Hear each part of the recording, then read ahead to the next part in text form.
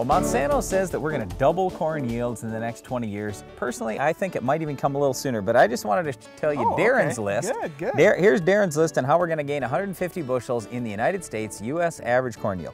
Darren says better seed will mean 60 bushels, Yeah. better fertilizer 20, fertilizer placement 10, seed placement 15, rain 15, drainage 10, organic matter 10, and seed treatments 10. You got comments, Darren? Well, I do. You know, first of all, let's talk about the seed. And when Monsanto says, yeah, we're going to double corn yields, it was interesting because I got to hear their CEO live talking to a group. And the first question he gets is, how are we going to double corn yields? How much of that are you going to do as a seed provider and a trait provider? And how much are farmers going to have to do? And he said, well, it's going to be a share. Maybe it'll be half and half. Who knows? The seed and traits are definitely going to improve yields. They're going to keep getting better drought tolerance, nitrogen utilization, uh, better weed control, better insect control, all these things. And you're saying seed is going to be about 40% of the 150 bushels well, we're going to gain. that's what I say. I mean, I think they're definitely going to help, and there's no doubt over the last 10 years that seed has gotten a lot better. So I think that's going to continue.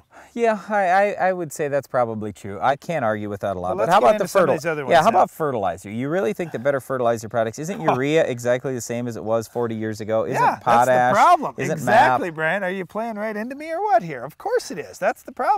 We don't have a lot of technology there, and we're just starting to get some with some products that are making nutrients more available. Like for me on my farm, I'm using Pro Germinator as my phosphorus source. I'm using SureK for potassium. Those products get into the plant rather than get tied up in the soil complex. Products like Avail are becoming very widely used around the country because it works and it gets more phosphorus into that plant. So as we're doing that, not only are we going to get more efficient with our fertilizer use, we're going to get better yields. Well, here's the way I look at the thing. Even if a guy doesn't want to go with the new technologies that are are a little bit better, even if he uses the old stuff, if at least he uses the right rate, because we talk to farmers all the time that they say, oh, I'm putting on enough for my soybeans in my corn year, and then we run the numbers and we say, uh, no, you're not. You're using it all up in the corn. You have nothing left for soybeans. That's why you're getting 40 bushel beans and 200 bushel corn. You should be getting 60 bushel soybeans if you just fertilize for them. Yeah, I could probably And see 20 guys there. hit 250, 300, 350 bushels of corn, they're going to realize, wow, you know, I probably need to step up my fertilizer program. Okay, here's one that I don't disagree with you on. Placement of fertilizer, 10 bushels. As soon as guys quit broadcasting and start banding more, it doesn't have to be all banded or anything, but at least banding more, getting it right where it needs to be, and not overdoing it in the furrow. That's the other thing. Sometimes guys will put too much in the furrow Or of the the, wrong product. Yep. Yes. So placement, I could see that. Okay, placement of seed, you say 15 bushels. I don't know. at least, at least, you know, every field that I walk in,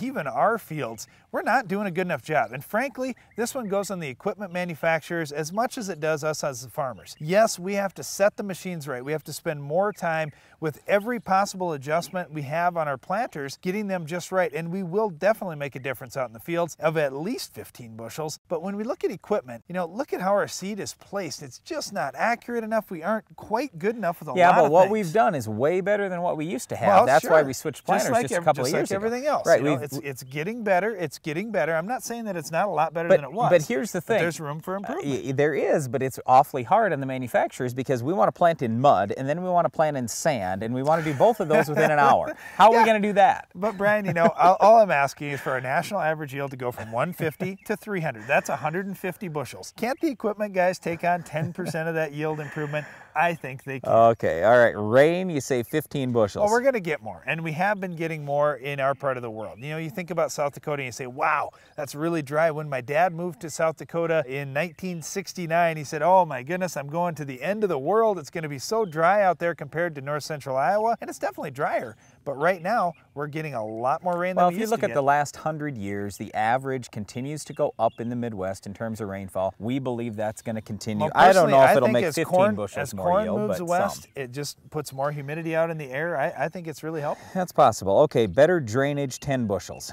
it's going to be a lot more than 10. But let's just say this. You know, if you're in Iowa and you have everything pattern tiled and it's at a pretty narrow spacing, yeah, maybe you've got things pretty well worked out, but there's areas of the country like the Dakotas, for example, that need a lot more drainage tile. There's areas like Minnesota where guys think they have it figured out, but they've got 100 foot spacings on very heavy ground. They need to get down to 50 or maybe even 25 foot spacings to get the most out of their drain tile. Okay, organic matter and building organic matter. Oh, Problem was we used to see organic matter levels decreasing when ground got farmed. Now guys are actually seeing it increase as they reduce tillage. They put more corn and high residue crops into the rotation and they do what they can to overall build that ground instead of depleting it. Well, and the use of cover crops too. When you don't have a crop out there, you need to have a cover crop in your field. It doesn't cost you money. It's an investment in your farm and it will make you more money. Okay, and then the last thing here, seed treatments. How are seed treatments going to improve yield? Brian, seed treatments all the time are improving. You look at things like Poncho VOTiVO for this year, for example. There are a lot of guys that are trying that out there.